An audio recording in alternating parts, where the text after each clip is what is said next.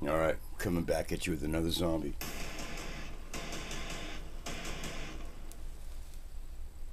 About six years ago, Ghoulish Productions released this, and it's called Bloody Corpse.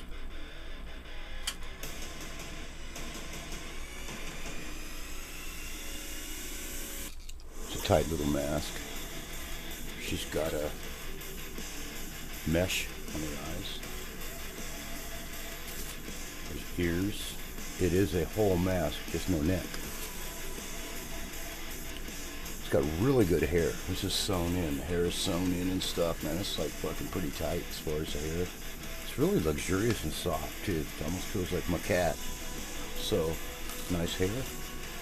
Uh, if I was gonna diss one thing, it would be the fact that when you do a mask like this, you might as well go with a blue or a green skin tone, or put some gray in it or some shit. Because what happens is the skin and the bone they all become kind of one. You see what I'm saying?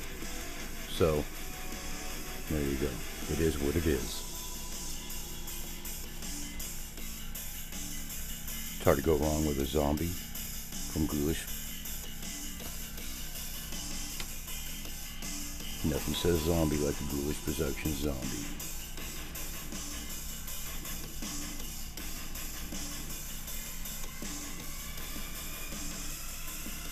Yeah, I was looking at Necrodome, and it was like 60 bucks, and I was looking at this, and it was like $17.